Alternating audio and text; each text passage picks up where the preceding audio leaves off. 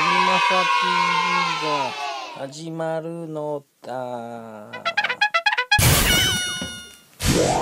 い、えー、皆さんこんにちは、吉田有馬です。いつも動画見ていただいてありがとうございます。はい、えー、今日ご紹介するのはこちらですね、バシえー、ファミリーマートさんの新商品、ホワイトチョコストロベリードーナツ。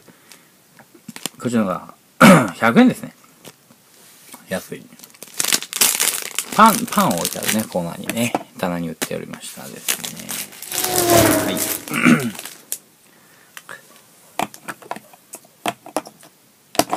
はい。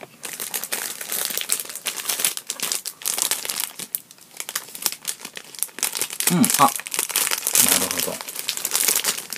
私の好きな感じの、しっとりドーナツ。あれ？これ、上のこの、おなんていうんでしょうかね、ビニールが、どっかとくっついてるのかな、これ。っついてるのね。わかりました。おいしょ出た出ました。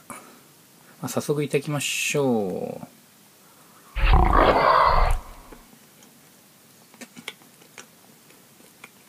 う。うん。おうん。ここの赤い部分がストロベリーの何でしょうかね。なんか、なんだろう。なんだろう。ストロベリーなんか凝縮して固めてなんかカリッとした感じのものですね。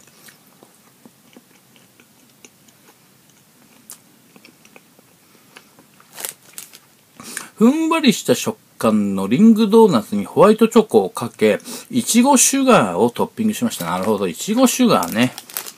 なるほど。私が今表現した通りのものでございました。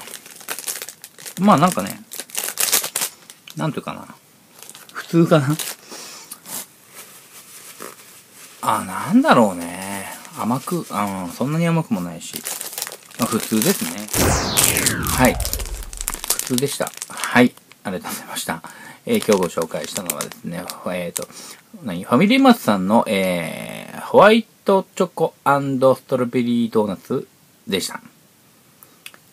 ありがとうございました。